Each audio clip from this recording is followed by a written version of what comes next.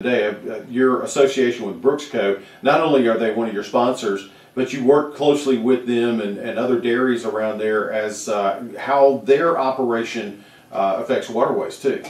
I never said their name in that connection. Well, you didn't, but you said, but, but that you work with other dairies to, to ensure that I work with dairies. that yes. are that are trying to make sure that they're doing the right thing for waterways too. Right, and um, the, the, thing about the uh, water quality testing program is we try to detect not only when the rivers are clean and when they're dirty, but where it's coming from. Right. And uh, you know, for example, currently we're investigating upstream from Valdosta. Something gets into the rivers in big rains. We've determined it's mostly coming down Cat Creek. Hmm. Now, where on Cat Creek? There's a couple of likely sources. have to tread lightly here. I got you. One of them being Moody Air Force Base. Okay, um, and that's problematical because we've found a little more from upstream on Beatty Branch from the wastewater treatment plant from Moody than downstream, Mhm. which is very puzzling. There's nothing upstream but the base. What's going on? We don't know. We're trying to find out. Okay.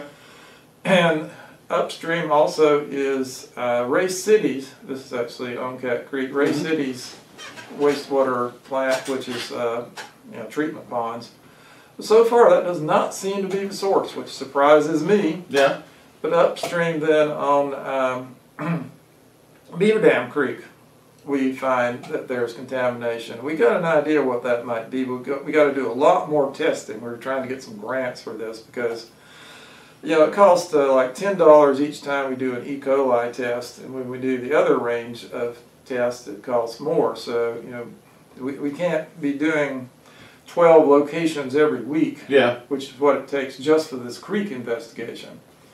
But we're going to pin this down. We're also going to do some DNA tests. That's how we distinguish, for example, cattle or wild hogs Yeah. Okay. or human. Back in, uh, it's when we we got the Florida Department of Environmental Protection to do DNA tests back in uh, 2020 after the big Valdosta spill in 2019. And for the first three weeks after that, it was human. Hmm. Then it was ruminants. Now ruminants include giraffes. Wild Adventures has two giraffes, but I don't think that's enough. That's interesting. Wow. Uh, you guys are, are tireless in, in your efforts to keep our waterways clean, not just because uh, people want to experience the waterways and paddle and different things like that, but it's for our own health and things like that down the line.